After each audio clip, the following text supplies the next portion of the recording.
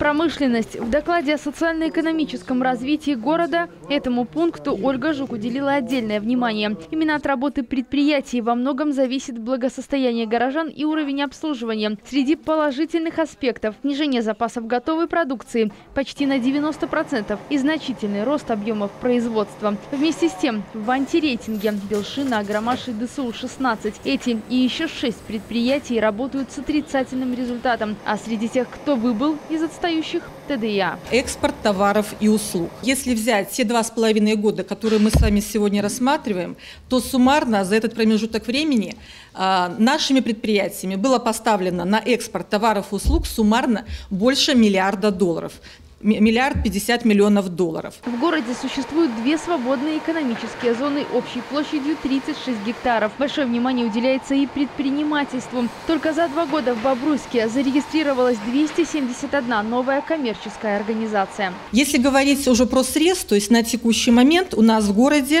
1373 действующие коммерческие организации – и порядка 5 тысяч индивидуальных предпринимателей.